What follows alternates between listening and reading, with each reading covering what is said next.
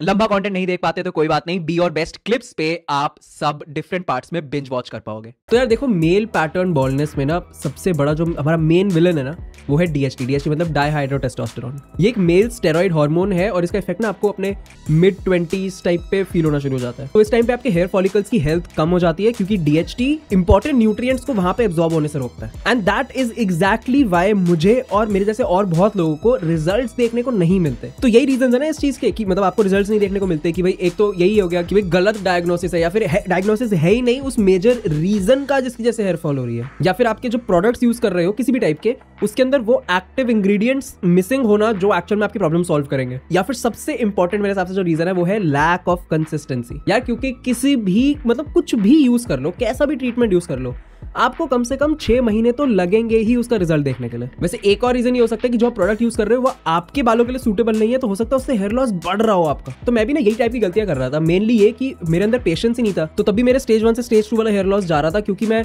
कुछ थोड़े टाइम के लिए ट्राई किया, फिर छोड़ दिया। फिर थोड़े टाइम के लिए कुछ और ट्राई किया, फिर छोड़ दिया। बिना सोचे कि मैं क्यों कर रहा हूँ ये ट्राई तो subscribe to be your best clips and be your best main channel